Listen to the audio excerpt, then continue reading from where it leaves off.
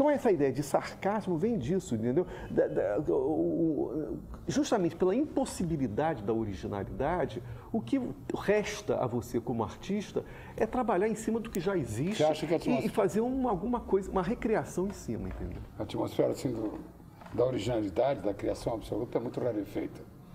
É quase sufocante. É isso. Mas eu acho que a grande tendência hoje em dia é essa, né? É trabalhar em cima do que já existe e recriar. Né?